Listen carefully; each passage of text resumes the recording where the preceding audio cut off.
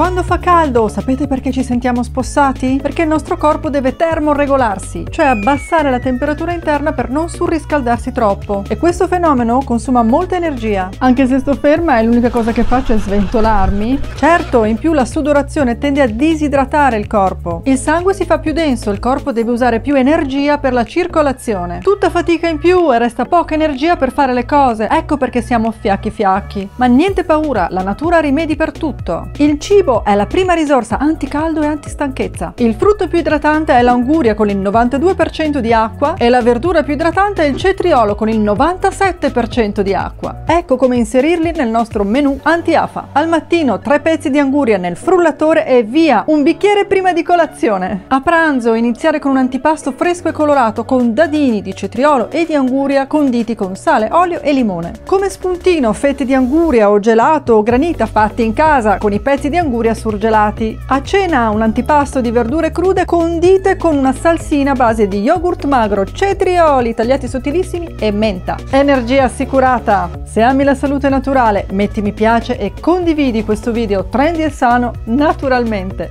Ciao!